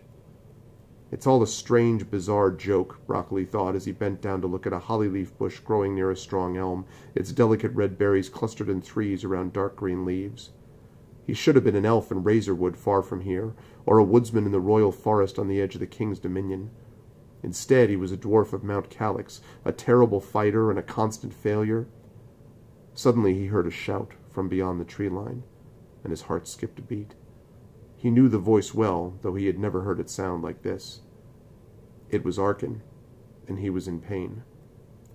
Broccoli rose and sprinted off in the direction from which he had come, heart pounding in time with his steps, and emerged after a minute into the bright northern sun. He slid to a stop and peered around him, blinking as his eyes adjusted to the brilliant light. There was the training ring, there was the table, and... No. One of the legs of the heavy stone table had crumbled, and the table had fallen over. There, his legs pinned underneath one of the table's ends, was Arkin Oakenhammer, eyes closed and breathing shallow. Broccoli ran to his father's side, and as he saw his father's face pale and drawn in shock, his heart skipped again. He pulled at the edge of the table, but it would take five or six strong dwarves to lift it free, and the training ring was at least twenty minutes at full run from the outer guard post. By the time he could get there, get some other dwarves in return, Arkin would be long gone. My fault, he thought, resisting the urge to pound the table in rage and frustration. If I hadn't run, if I had seen it falling, been able to warn him, if I were a real dwarf with more knowledge of stone than tree. Tree he suddenly thought. And then another thought came to him. The pineberry growing fast and strong. The words he had whispered to it. He closed his eyes and began to whisper the words again, struggling to keep his voice soft and low against the urgency of the moment. Calestis, he intoned slowly. Elarish Calestis. Elarish Calestis Carencia. On he went, building word on word, sentences growing and stretching and searching like roots in soil, slow and sure and true. Suddenly he heard a crack and a gasp, and his eyes flicked open. His father was staring at him. No, not at him. He was staring at something above him, and suddenly Broccoli was aware that the light around them was now muted, dimmer, and shaded green. The end of the stone table was lifted high in the air, upheld by a thick, strong root, and Arkin Oakenhammer was free. His leg was twisted underneath him at an unnatural angle, and his face still looked pale. But as Broccoli turned, he saw what his father was looking at a strong, tall tree, a mighty pine, its needles and branches swaying gently in the breeze far overhead, grown in the space of a minute to its full glory. Broccoli, his father gasped, but not simply in pain. Broccoli, you. you did this?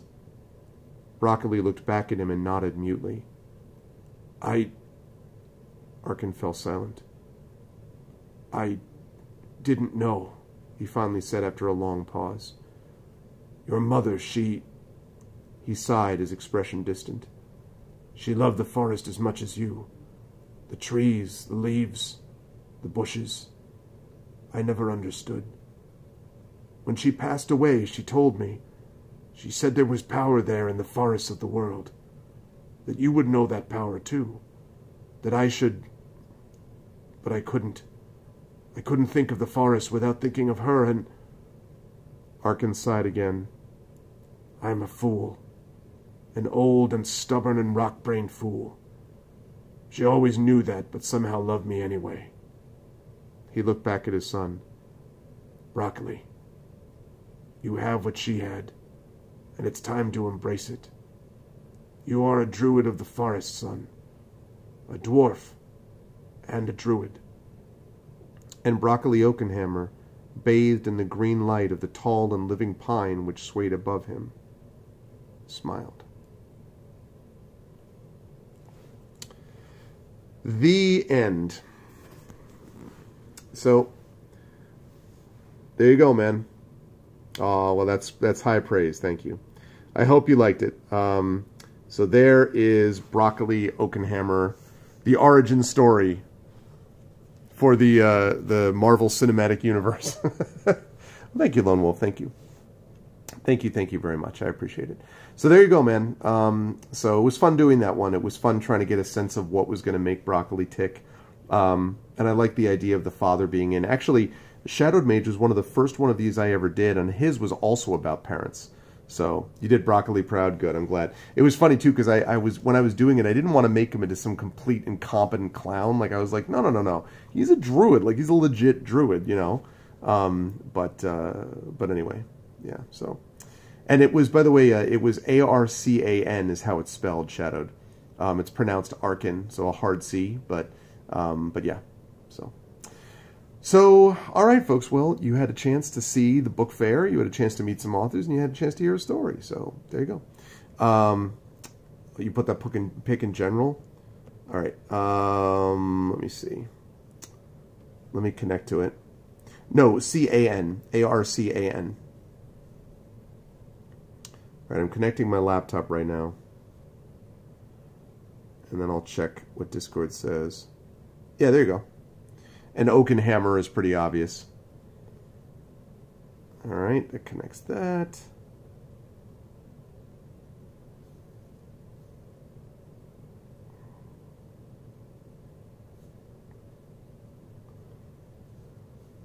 Arcan. Exactly. Ah, thank you, Lone Wolf. Listen, I, I really appreciate, you know, you you always have a very positive outlook, Lone Wolf, which I really appreciate. So so thank you um, for doing that because that that definitely that's that's we're you know we live for people feeling like they're getting something positive out of what we do. So um, so thank you. I appreciate that. Um, all right, let me fire up quickly the Discord just so I can see this before I wrap up for the evening. And again, I'll be back Saturday for D&D with INB. Um, and this is my last con until May. So after this, it'll be pretty straight ahead. May is going to be busy because May I've got um, the conference at the beginning, SUNY BroomCon. Then I've got Three Rivers Comic Con, and in the middle of that I got ArvCon. So we got a lot of that stuff going on. It's going to be Crazy Go Nuts. Joven Bookbridge. I, you know, I have to say, Shadowed. Honestly, of all the ones that I've done, I'm proudest of the end of that story. The end of that story is one of the proudest I've been of like one of these character backgrounds, because it because it was basically very Rutger Hauer, um, what's his name, Roy Batty in Blade Runner ish. You know, like you won't believe what I've seen. I've seen things you people wouldn't believe. You know, like so that's part of it. Um, okay, let me see. So I got Discord open now. You put this in general.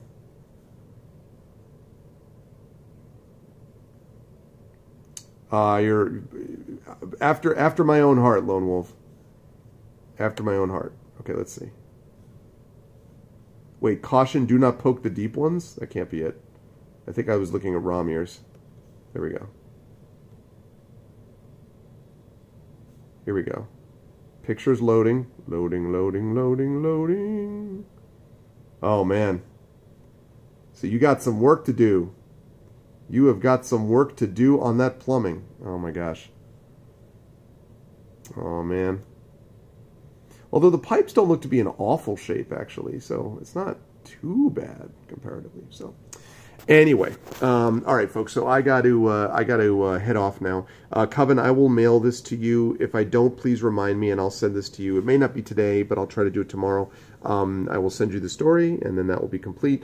And then I'm going to do Echoes, send that off to him, and then I have my short story to do for my anthology, and then I have to revise Winnie and Wormwood. So that's what I got going on.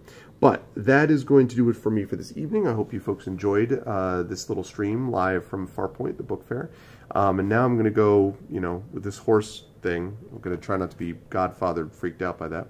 Um, but I'm going to head off uh, panel tomorrow and then reading tomorrow. And then I've got uh, IMB in the evening at 7 p.m., so it should be the normal time. So I will see all of you lovely people there soon. If you haven't already, don't forget to follow the channel. Check out the YouTube, exclamation point ArvTube, Twitter, exclamation point Arv Tweets, Discord, exclamation point Arv Cord. Um, please spread the word about the channel. Check it out at arvaneleron.com financially. Exclamation point Arvtreon is the Patreon. Again, that is if you like that story and you'd like to have something like that written for you, you can support the Patreon at that level, and then uh, you can get such a story.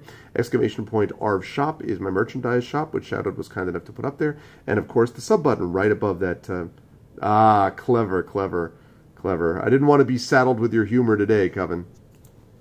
Whinnying. Anyway.